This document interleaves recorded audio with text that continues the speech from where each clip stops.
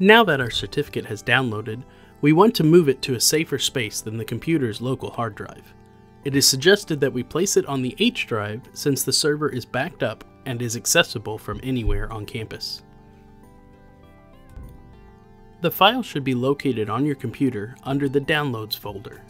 We will right click the file and choose Copy. Then we will go to our H drive.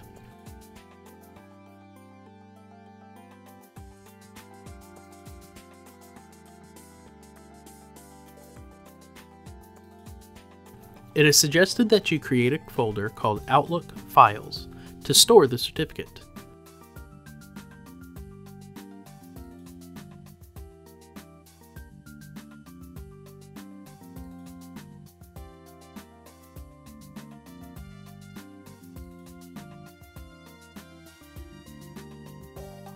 Once in that folder, we will right click and paste the file.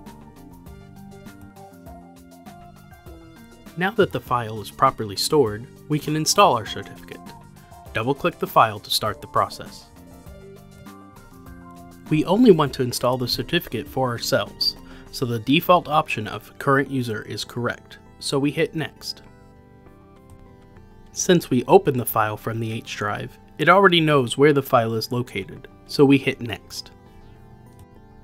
On this page, password is our four or more digit PIN, so we enter it here.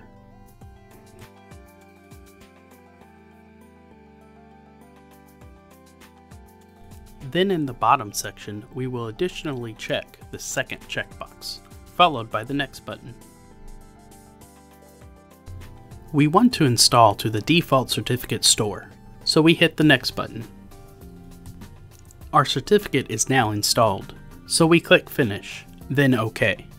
In the next video, we will be able to apply our certificate to our email program.